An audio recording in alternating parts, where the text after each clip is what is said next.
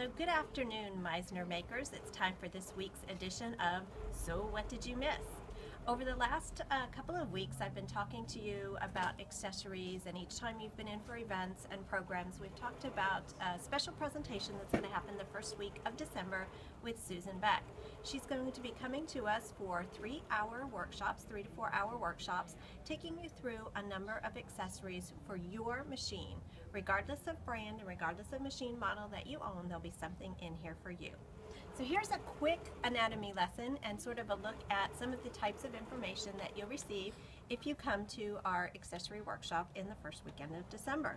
So for example, were you aware that every presser foot is designed specifically to do a certain job? And by looking at the formation of the foot and the bottom of the foot, this can give you clues as to how best to use the foot for other purposes.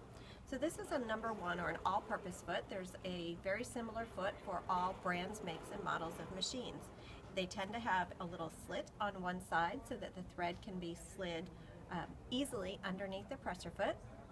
There's a little half channel on the bottom, so this is an indication that this type of a presser foot will work well for stitches that go forwards and backwards, but don't have a tremendous amount of bulk.